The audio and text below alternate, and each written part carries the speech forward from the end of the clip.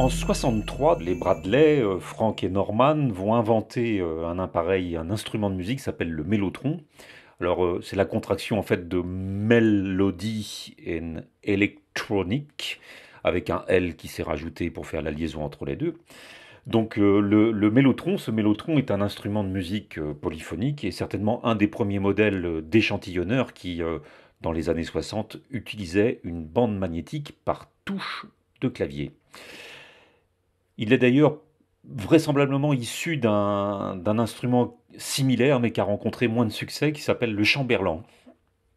Alors l'instrument euh, mélotron accompagne donc toute l'émergence du, du, rock anglais des années 60 et 70, notamment sur les formations de, rock progressif.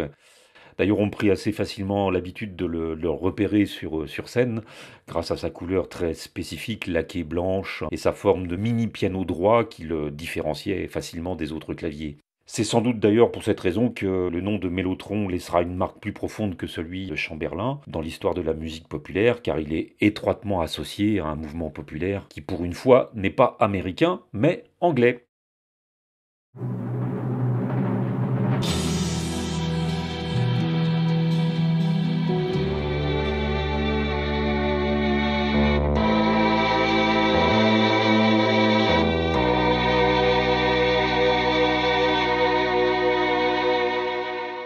There you go. So this is the internal mechanism. As you can see, there is this big rotor here that spins a long capstan across the keyboard. Just underneath a series of pieces of tape. Each key has a pinch roller. And every time you press one of them, a piece of tape rolls underneath it. You see?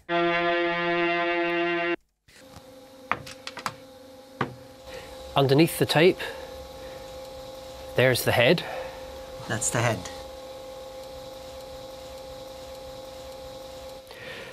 This roller will press down on the capstan, pulling the tape through. This pad will press down onto the tape head, holding the tape, holding it holds the tape onto the head as it's dragged across. Right? So here are all the pieces of tape and see what happens when I press a key, yeah? See? The pinch roller presses against the capstan and the tape gets pulled up. And since each key has a different pinch roller, it will pull a different piece of tape. And of course, there's only so long that the note can go for, because at some point it will reach the end of the tape and then will go back.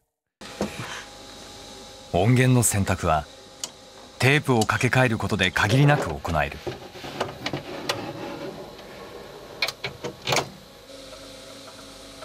ストリングスブラスフルートの3種類が最も一般的だという。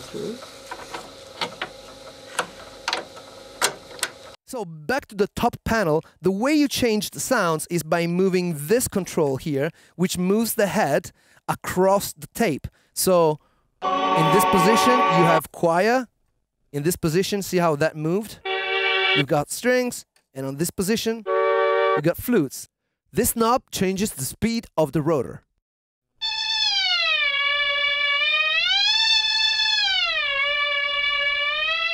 And here you got the tone control.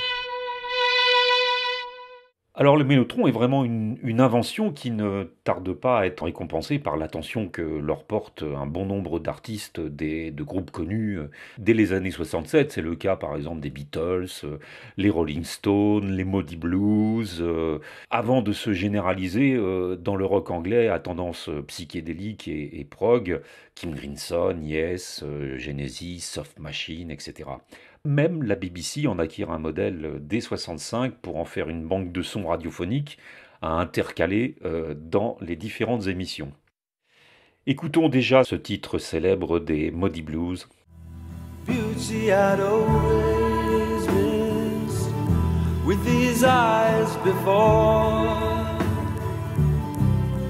Just what the truth is, I can't say anymore.